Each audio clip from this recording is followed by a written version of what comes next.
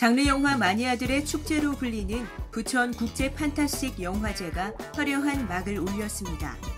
예매 시작 30초 만에 매진돼 화제가 된 영화 7호시를 개막작으로 58개국 289편의 장르 영화들이 관객을 찾는데요.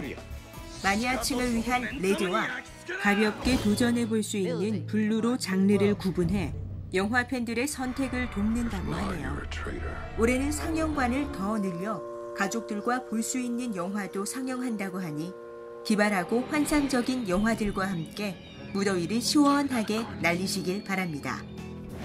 국내에서 가장 오래된 인공연못인 국남지에서 백년과 홍년, 가시연 등 50여 종의 다양한 연꽃을 한 곳에서 감상할 수 있는 축제가 한창입니다.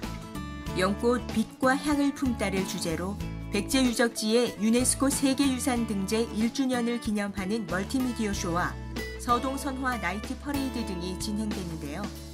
백제 문화재 탐방과 자연 생태 학습장으로 인기가 높다고 하네요. 14일부터 4달 말까지 순천만 국가정원에서는 물빛 축제가 밤하늘을 수놓습니다.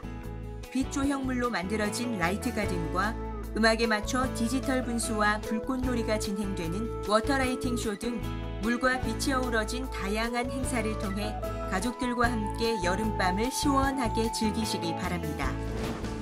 고궁의 아름다운 야경을 즐기고 추억을 만들 수 있는 경복궁의 야간 개장 프로그램이 오는 16일부터 시작됩니다.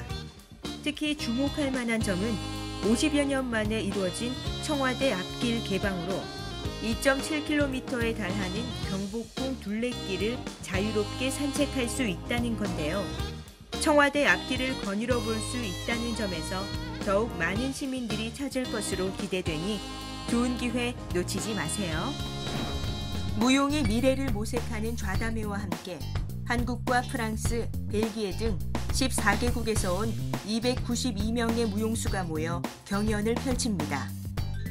국제아동청소년 연극협회 한국본부가 호기심을 무대로를 주제로 멕시코와 미국 등 11개국의 우수한 아동청소년 공연 14편을 선보입니다.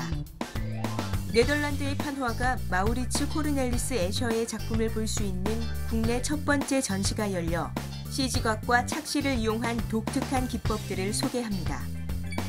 전통음악과 창작음악 등 다양한 공연으로 구성된 낮잠 콘서트가 매주 화요일부터 금요일까지 활력을 전합니다.